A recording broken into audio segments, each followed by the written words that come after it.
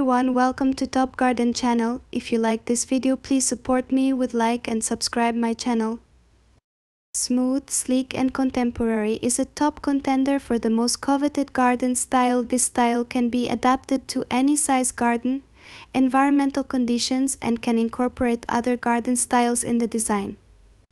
We're talking modern tropical, modern coastal or even modern cottage. Simplicity is key in a contemporary garden design. You don't want to overcrowd or clutter the garden, creating too much busyness.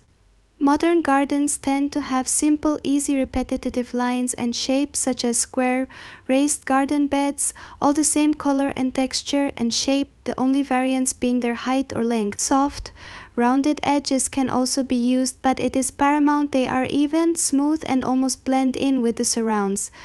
Geometric shapes and lines don't work unless they are balanced with the surrounding spaces. Geometry is precision work and is what makes the garden as a whole pleasing to the human eye. We can often tell when the lines of a garden bed or wall are incorrect and it's so distracting. This also applies to the placement of objects and shapes in a design. It can be too color heavy on one side of the design or not enough of a certain texture, which makes the whole feel of the art feel weird. This is when balance is usually off. An element of the modern garden that isn't considered until suggested by the designer is that of a functional space that joins the inside with the outdoors. This can be in the form of an outdoor living area or outdoor kitchen. Retaining walls and planters can double as seats with carefully designed indented benches that melt seamlessly into the geometric design. Modern designs will generally have very deliberate and useful design elements, no questionable or confusing sections with unknown functions.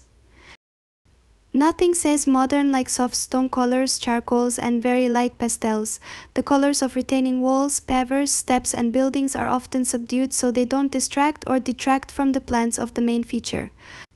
This is also applied to the plants used. Green-white is a very common color scheme for a modern garden as it is subdued and simple, no one plant necessarily stealing the show with a mess of color. When color is used, it's applied en masse, large drifts or rows of the same color planted together to great effect. Good examples of this are simple green hedges, large swaths of green or silver ground covers, and blocks of lavenders, fescues or salvias. Along with your simple colors, simple textures must also be used. Generally, you won't want any strongly patterned textures such as red brick or paisley confusing the area. The plants will usually create enough textural contrast and just require a simple backdrop or border to shine against. There is no need to remove everything that might conflict with this tip.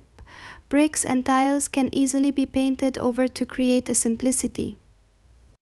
Outdoor lighting not only brightens your backyard but can highlight a feature, draw your attention to elements of interest or set the mood. There are many outdoor lighting options available but remember to keep it simple so no late light lamps or spotlights.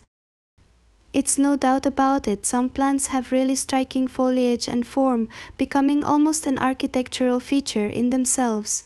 Such plants as agave, senecio blue chalkstick, or Gymea lily have strong shapely foliage that draws the eye and contrasts against almost any other plant or building.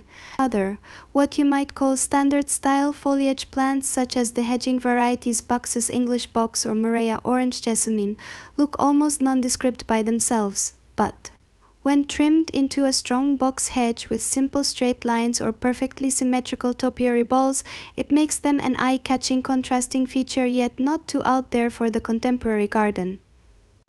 And if the geometric lines get too much, soften your edges with a mass planting of Poa-tussock grass or Myoporum fine leaf ground covers.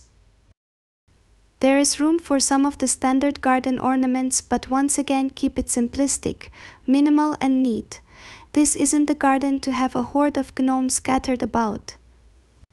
A single large urn with a topiary Buxus bowl or trailing Dichondra silver falls ground cover can make a beautiful, timeless feature and breaks up the landscape.